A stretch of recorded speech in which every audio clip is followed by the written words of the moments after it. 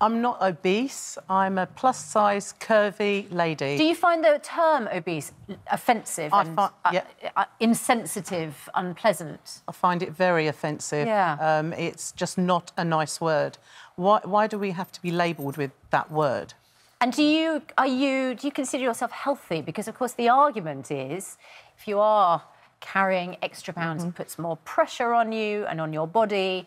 Do you feel like you're in full health? I feel for the weight I am and the way that I look at the moment, I feel comfortable with the way I am. Um, I don't think it should just be targeted at plus size girls. You've got, you know, size maybe 12 um, ladies that uh, could be deemed to be unhealthy because they smoke or they drink. I, I think Would you like to be six stone heavier? That's what Tess Holliday is. She's your height. In fact, she's an inch smaller than you. It doesn't matter about what Tess is or what I am. I'm individual to me. You're 16 stone? Yes. You're classified as obese. How does that make you feel when you hear that? I mean, it doesn't offend me. I think it's how you take on words and labels. I like the term plus size. I feel proud. I feel confident. It's who I am, and I embrace who I am. But there's plus size. You see, who's that? Uh, Ashley Graham, isn't it it? Is the plus size model. I've sat next to her at a dinner party, and she, I, I thought she was a wonderfully positive body image, right? That's not what I'm talking about. I don't look at you and see somebody I think looks dangerously overweight, right? You're, you're my weight, right? Which is obviously svelte and everything else. Um, I'm talking about the, the Tess Holliday area, where I think she's being used in a very, and we'll come to, to Gemma, isn't it? Um, I think she's being used in quite a cynical way. I think she's being used in a way that unfortunately means she can now only make money if she stays at 300 pounds or larger. And she said in the interview, I've never been heavier, I've never been happier. Is does, it any, a- does any woman ever really believe that the heavier they get, the happier they are? I think that's open to individuals and mm. personality. I think putting putting a label on everybody who comes under the BMI of obese or morbidly obese is actually it's quite ignorant because we're all very different. As you can see, we're all very diverse in who we are. We're completely different personalities. The way we carry ourselves is all different. I've been 28 stone. I've lost 13 stone Why did you lose 13 stone? because I felt at the time that was something I needed to do. Why? I had Why? no I had no health complications, none. But you would have done, right? Okay, so in the long run, possibly. She's a fully self-employed individual, so the only person who's exploiting her would be herself. Mm-hmm. If No, you no, ever the magazines are exploiting her. But she she makes all the money. It's her brand. It's her. It's Yeah, her. but Cosmo making money too. Yeah, but off her, she's getting Right, paid. they're But deliberately having- using her to but make just money. Pausing that for one second, you know how the celebrity industry works. If she were to lose 300 pounds, she'd be dead. If she were to lose 100 pounds, the money she would make off that, she could hmm. double her income by doing a weight loss DVD, by selling her soul. why don't we encourage her to do book. that? Because she doesn't want to. She does But want to. Also, I don't if- believe that. But this is this is my thing. I do. Why are you so obsessed with her? I'm obsessed with her. She- She's You said- are obsessed with her. And it's a little bit I had weird. literally until the end, until the, until the start of little Sep- bit. until the start of September, which is literally a few weeks ago. I'd never heard of her. And since the start of September, I September, get you've back from talked a lot holiday, I see her. the cover of Cosmo, and I'm like, sorry, what's going on Okay. here? Have and you I read followed Cosmo. her journey, though? Huh? Have you followed her journey ever? Have you gone back and researched anything? Because there are actually posts where she's in the gym and she's eating healthy. It's not all... She has a personal She trainer. does. She works That's what she does. I've just Okay. seen her post videos of her munching cake with her bare Okay, hands. Dr. It's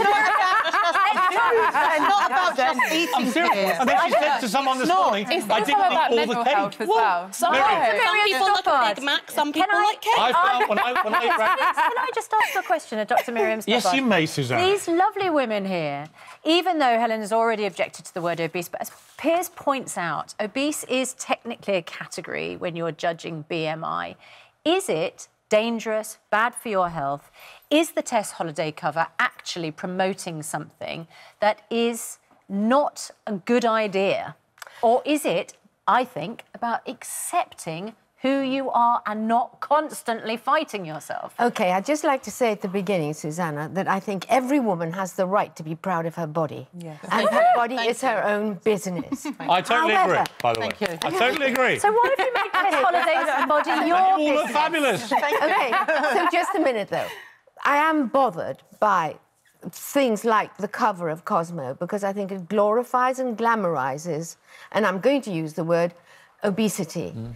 Um, I think that uh, the the person looks like they've made a healthy life choice. People see it as that, and they see them as a good role model, and so they would copy that. In the long term, there are going to be problems because fat we all think of as harmless. It isn't. fat Rebecca, is and, Rebecca, let me ask, let me ask you this. Let me ask you this.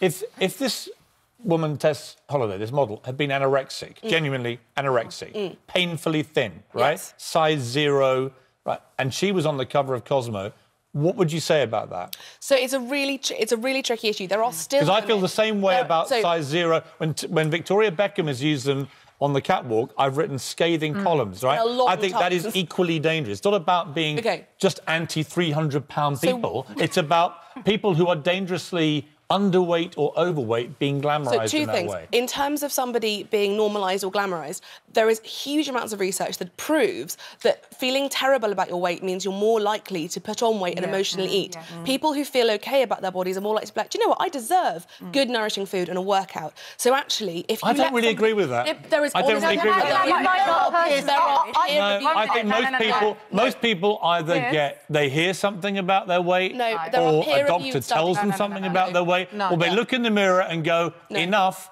I'm getting too fat." No, I Piers, genuinely- In other words, there's an element of shame that drives you to No, lose no, the no, weight. because Yes. I had bulimia after I lost all of my weight. So I've been at two, I've been two ends of the spectrum. I've been severely overweight and then to a point where I couldn't eat. They're mm. going to hospitalise me, and I didn't have a positive frame of mind Right. to be in that size. Okay, can I just just one last oh. question to Dr. Oh, Miriam? okay. What is the most effective? I don't agree that body shaming or making someone feel I bad about their weight either. helps. Right. What is the most effective way that people can lose weight in your experience as a doctor? Right. One of the things. Eat I- less food, do more exercise. Are you a doctor? Piers, Can we hear from the medical professional in the room? Dr. Piers. Um, Am I wrong, Miriam? Am I wrong? No, you're not. Doesn't it really just boil down Oh, to shush, better, for a moment. healthy eating, less food down your gullet, and do some Oh, more exercise? Plus size and healthy. And by the way, I think the same about men who are Piers, lard Piers, asses. can I just bust a myth? No, I've just heard it said there that you can be fat and healthy. Actually, you can't be. No. Um, you're always somewhat unhealthy. There's a big uh, study done on 17,000 people, and they were uh, uh, heavy and they did regular exercise.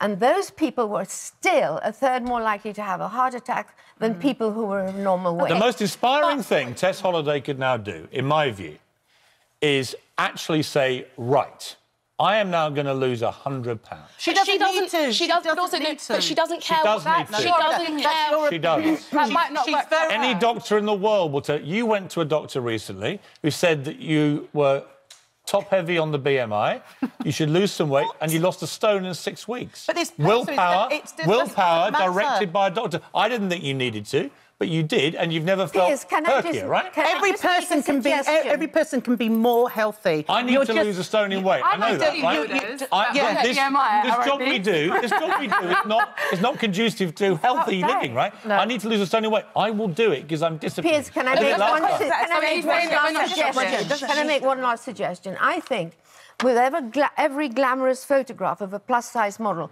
there should be a health warning. Oh, that's- in wow. exactly the Really? same No, way. that's ridiculous. It, So it- do I it try isn't to program with a ridiculous. health It really there? isn't ridiculous. not. Just as there is with uh, drinking and gambling and smoking, uh, because um, uh, you know overeating Yeah. causes um, a very dangerous. Rebecca, medical final word from you. Are we going to put a health warning on every picture of Donald Trump? Uh, there is a health warning on Every this single picture. picture because he's overweight. James No. Corden, front Actually, Donald of James Trump is Corden GQ. Donald Trump, as he will tell you from his own doctor, is very healthy. But he's overweight. You know overweight. why? So He's you never can be drunk healthy and alcohol. overweight. He's never smoked cigarettes. He's never taken But drugs. he is- but Donald he Trump is is oddly very healthy. But he he's is- the worst example you can use. But could he use. is overweight. Okay. He is I have more I have- energy at my size than half the women, Yes. uh, half my friends have it. So it's you cannot Also, link okay, the two. Okay, I'm going to say thank you to your fascinating discussion.